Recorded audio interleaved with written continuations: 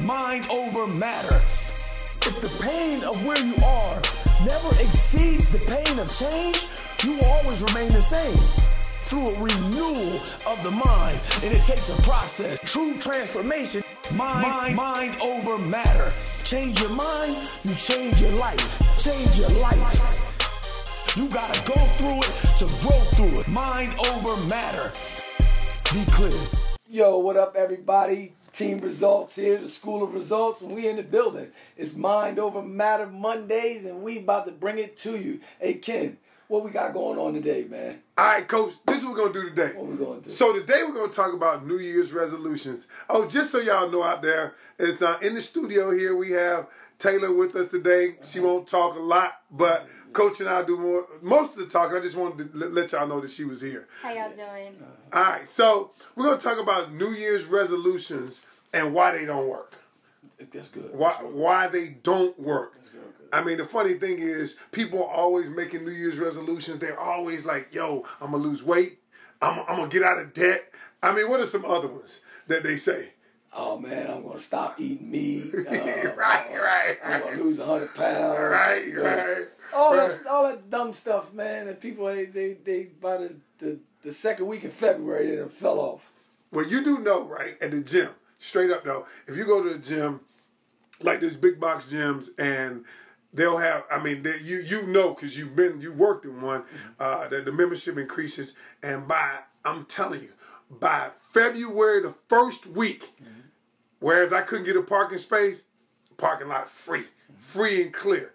So the question is, why is that? So let's let's let's kind of go in on it and, and talk about New Year's resolutions. And there are people out there who have made some New Year's resolutions. Because I'm not gonna lie, I've made some. Uh, I'm like, yo, this year I'm gonna lose, lose 100 100 pounds. I said your joy. I, I said it, you know. I was like, I'm, I'm, I'm gonna stack up about twenty thousand. I've always made them. Uh, I stopped making them two years ago. yeah. Just two years ago. Well, why? What? What was the change? Um, and, uh, you know, so why? Why did you change? I think I stopped making them because I, I number one, I started being honest with myself.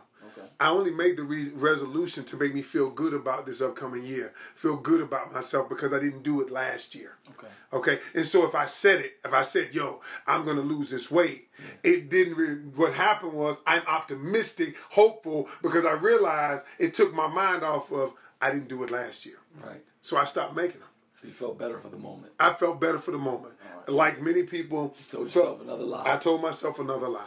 And you said it enough times so you could believe it until you until midway through the year you knew you wasn't going to do it. So now you had to start feeling bad again. I mean, since you put it like that, yeah. That's what I mean. That's actually what happened, though. And uh, so I, I, so I made a conscious decision two years ago. I'll never forget it. Two years ago, and I, can I let me tell you what actually happened. So I would always, you know, the years prior, I would always gain about 15, 20 pounds, maybe even 25 pounds uh, during the holidays. A year? Uh, um, yeah. I mean, but I would lose. I would lose it. I mean, I mean, wait a minute. He, he twisted me up right now. You That's a twisted- lot of weight. You twisted me up. That would have Uh, put you more than 425 pounds, no, brother. no, no. Hey, you twisted Go me ahead, up for a minute now. ahead, man. But now I would gain some weight. Let's safe to say Yeah. I gained some weight. Everything pounds. got tight. I, listen, I know how it is because of the simple fact that um, from October till now, it's, it's January, man, I gained 10 pounds and I gained 7% body fat. So just over the holidays, you know, that time coming, uh, uh, I, I know how it is. And if I can gain, you know, uh, 10 pounds and 7% body fat in two months, then I know what it takes for people who aren't really as active as I am in the gym. And that's with me working out five and six days a week and sometimes doing cardio early in the morning. That just means, you know, I, I was missing a part of the process and I got a little lazy. But if I could gain that much weight in, in just a few months, then I know how it is for people who aren't really on top of their game. Okay, mm-hmm. thank you. I mean, so now, now Yeah, Taylor you laughing at me, so I feel feel better now. About the 25 I mean, pounds. You feel a lot lighter. I feel better. You Every- working every out. year. All right, so so that being the case, though, here's what we're gonna do today. We're gonna help some people out, um, and who've made those resolutions, and let's talk about why they don't work. But then let's talk about how we can help them make them work. All right, I think I think one of the major mistakes that that, that people, you know, um, commit when they're trying to get resolutions is, is that they make their goals too broad, they're too big, and there's too many of them. Mm. So, Ken, whichever one you want to touch on first, I mean, we could dive right into it. But you know, just just making a goal too broad, it just means it isn't specific enough.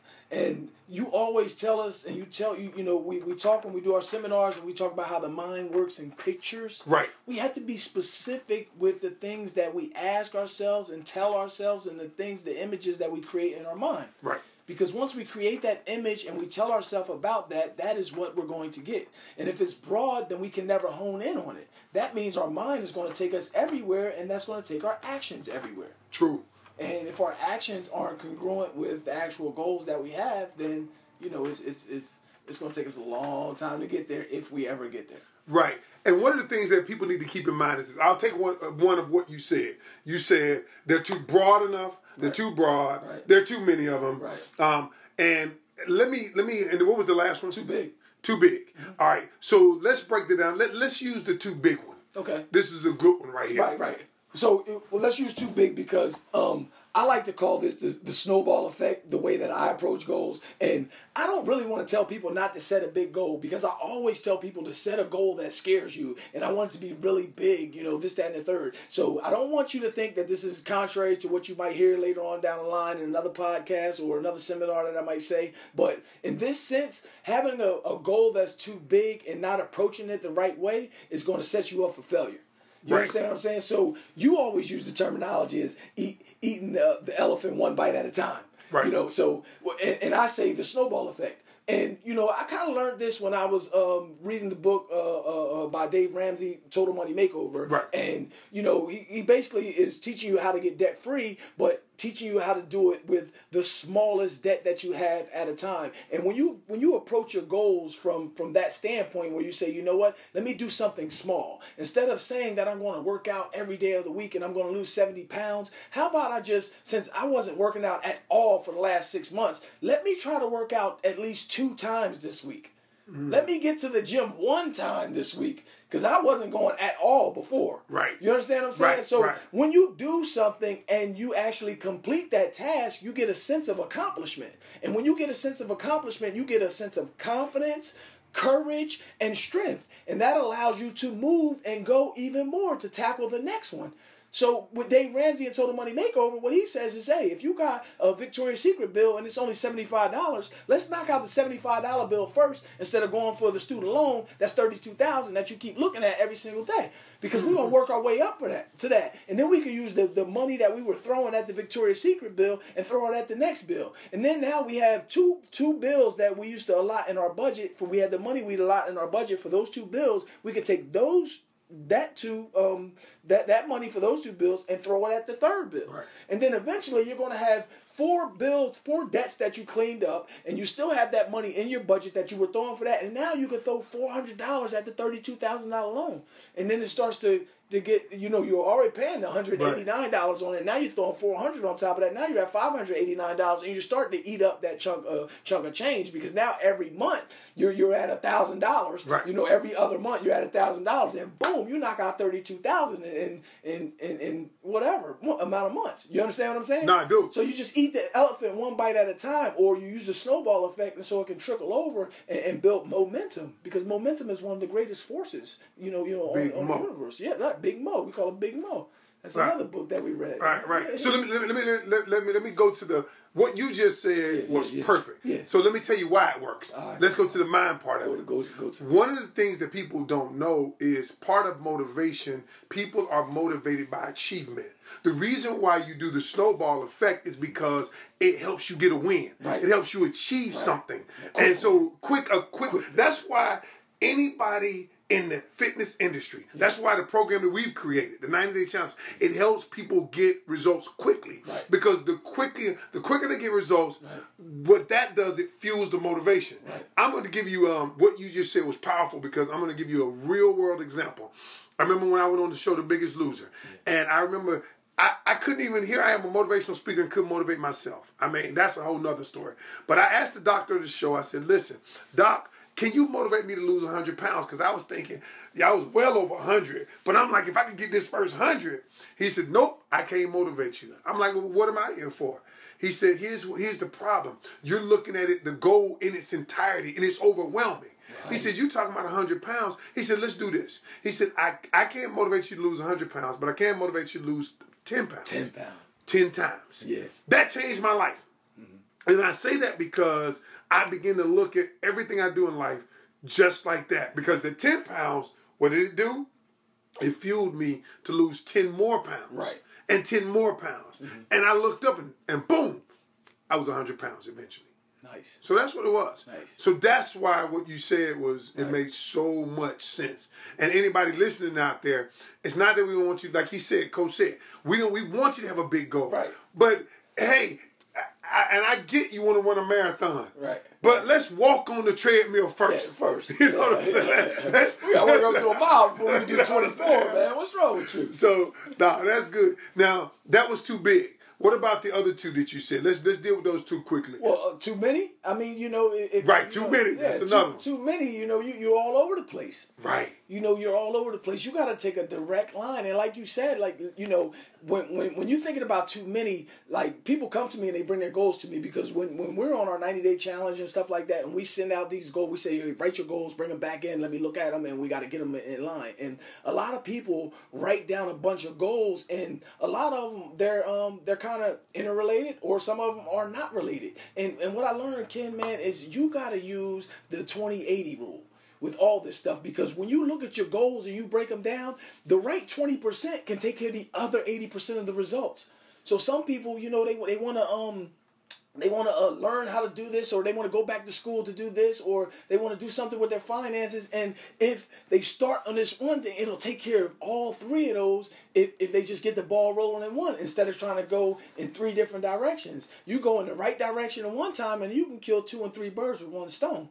So the 2080 rule is basically you know it was it was it was founded in economics but it can be applied to anything because it's a principle. And everything on the universe is governed by laws and principles so if, if you just take the right 20%, if you plant 20% of the seed, right, then it's going to sprout up and take care of 80 80. the rest of the 80% of the garden. That's good. Right. That's right. good stuff right, right, there. Without question. Wow. And it's kind of like this. And I've told you this before.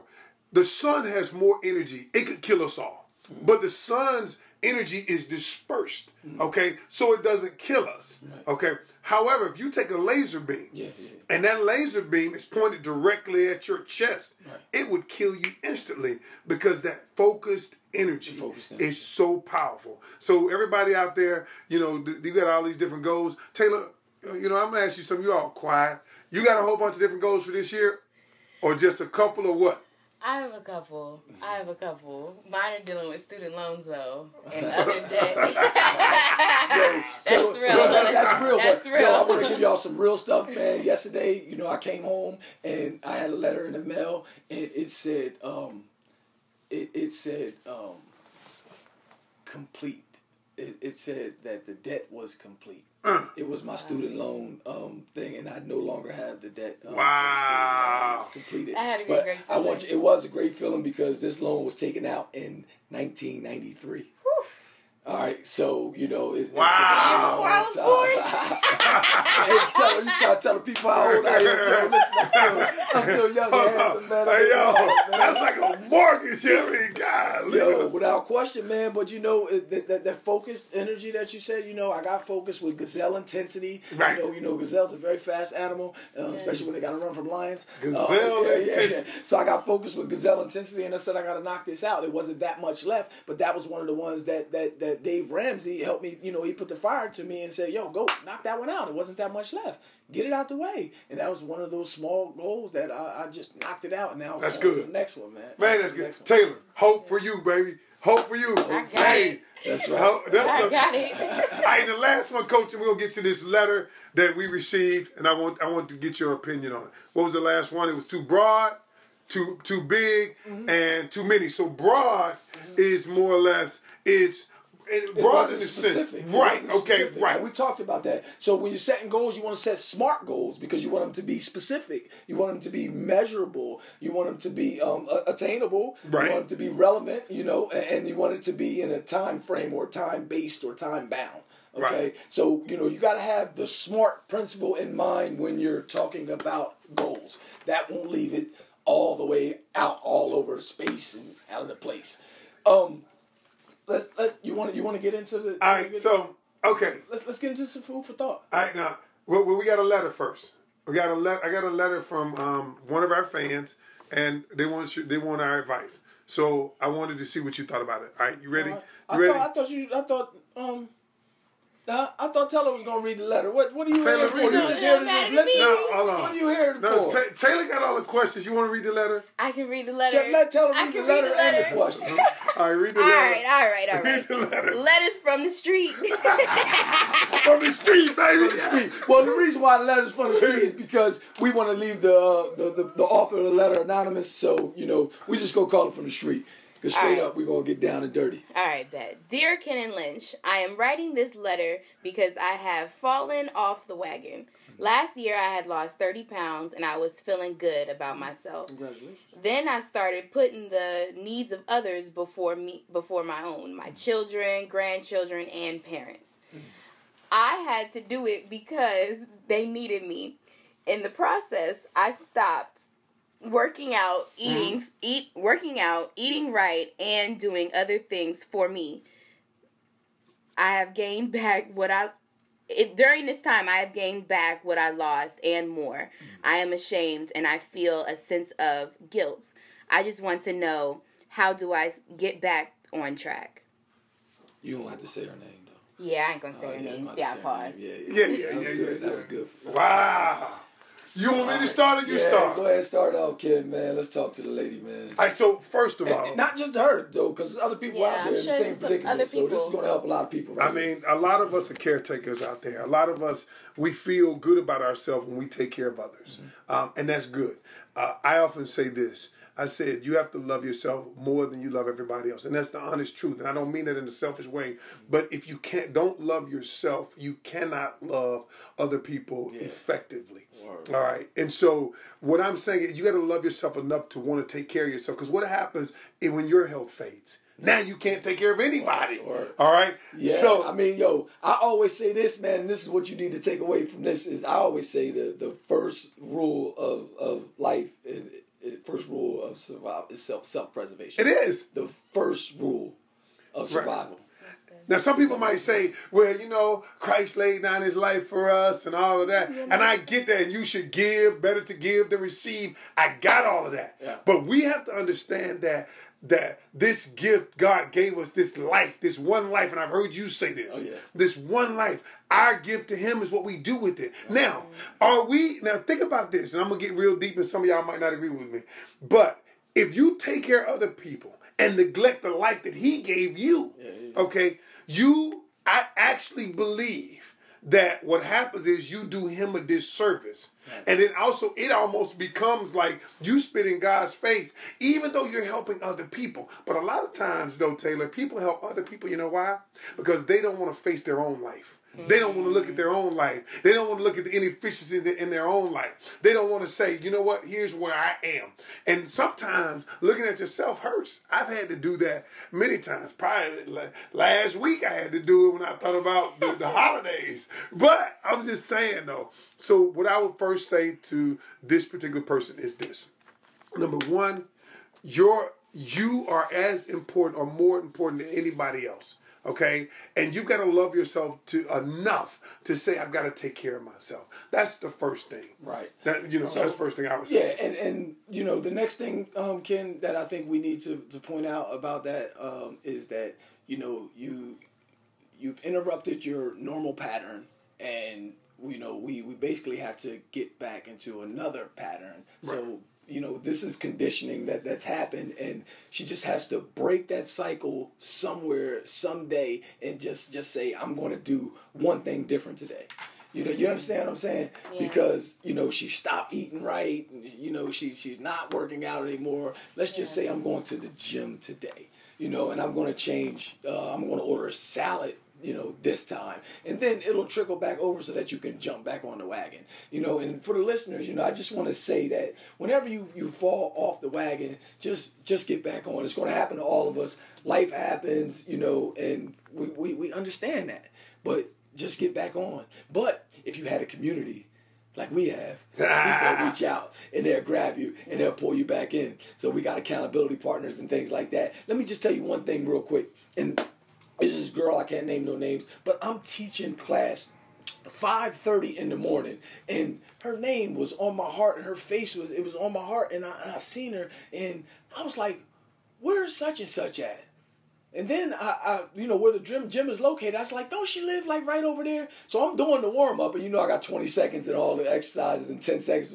So in the middle of me doing all the warm up, it's 5:30 in the morning, right? Right. I pull out my phone and I call her. What? She, she didn't answer the phone. She didn't answer the phone. But you know, I haven't seen her in two months, about a month and a half, maybe two months, and I left her a message. You know, the class is like, is he really calling her right now? Like I'm calling her in the middle while I'm doing a warm up, and I'm leaving a message so Wow. that everybody in the class hears me. But here's the here's the kicker about what happened.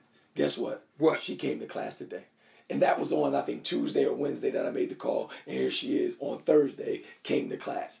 That's so good. it was just Wow. accountability from having that community around. So when you have that accountability partner, it's a little bit easier to get back on the wagon. So you know, make sure you're surrounding yourself with the right kind of people that are going to check you, and they're going to say, "Yo, you know what? You you falling off a little bit because you know I call I you in bit. I why, call you why don't you bit." say how you really say it? I mean, Nah, nah, nah. You try to get this on iTunes and SoundCloud and all that other stuff. Then you got- I got my pastor listening, man. Shout out to Pastor Pierce, man. I ain't gonna drop no bombs right now, man well, Go ahead. we won't do it. We won't do it. Let me leave it with one, one last thing. Can I leave Yes. it with one last thing? Yes, sir. Alright, Is this right here? Remember this that obviously you don't feel good about yourself. Mm-hmm. All right. Remember these three words: motion creates emotion. Mm. All right, and what that basically is is I think this. that's in my book, Ken. Yeah, yep. Okay, it's in your book. Okay. All right, it's in your book. So I feel like you know. Hold up. Shameless plug. Seven levels of discipline. was gonna say, Manifest Seven. Yeah. Yo, check Coach Lynch's book out. Uh-huh. Seven levels of discipline. and Manifest Seven. Okay, back to the letter. Back to the ahead. letter. Back All to the letter. right. Motion creates emotion. The more you do something, the more you feel like doing it later. A lot of times, what the problem is, is that people want to feel like doing it before they actually do it. That's true. All right. So what I tell them is, if you want to do, just do it first. Push through it. Right. Just push through it. Eventually, the mind will take a picture of you doing it. That's how. That's part of conditioning. The mind thinks in pictures. The more you do it, the more you will want to do it later on. right. But the emotions come after the motion. That's good stuff. All right. All right. So, hey, speaking of the thing we're doing, man, let's tell everybody about the challenge. Y'all, All we're doing the challenge. Go ahead and give, tell them about the challenge. All right, so we got the 90 day challenge going on, man. Listen, I'm telling you, if you're looking to transform your body and change your life, you know, change the mind, the way you think, because, you know, true transformation doesn't happen without renewal of the mind, then you need to check out our 90 day challenge. Our 90 day challenge is something special because we tackle every single angle that, that, that, that, that actually causes you to change.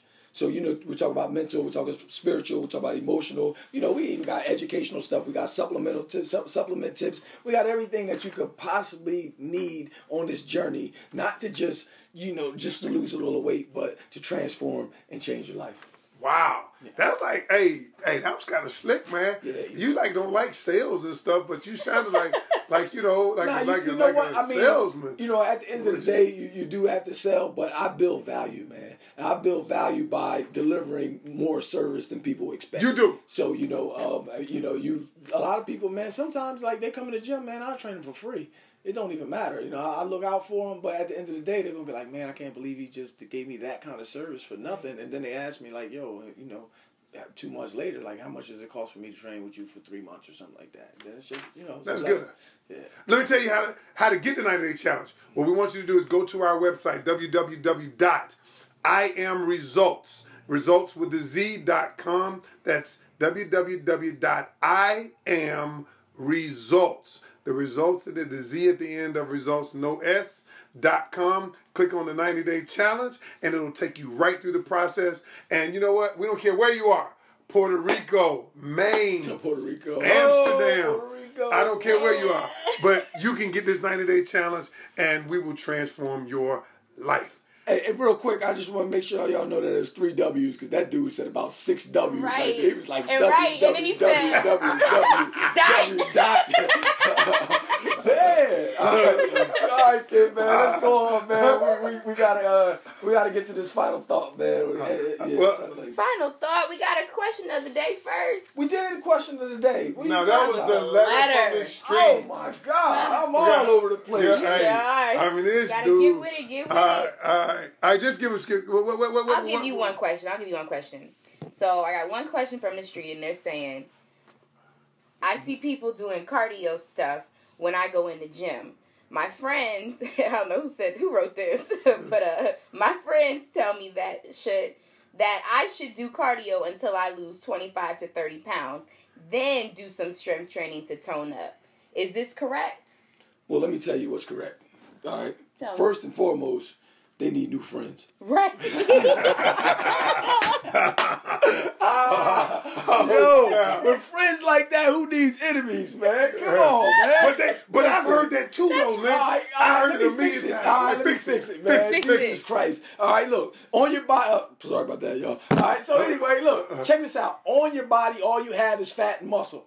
Fat and muscle. Fat and muscle. I'm gonna say it again. Say it with me. On your body, all you have Yeah, is fat, and muscle. Fat and muscle. All right, now look, if you don't want fat anymore, that means you're gonna want muscle. I'm gonna say this again. If you don't want fat anymore, that means you want muscle. Right. You guys say it with me. If you don't want Want fat fat anymore, you want muscle. muscle. All right, now guess what? You can't gain muscle by running.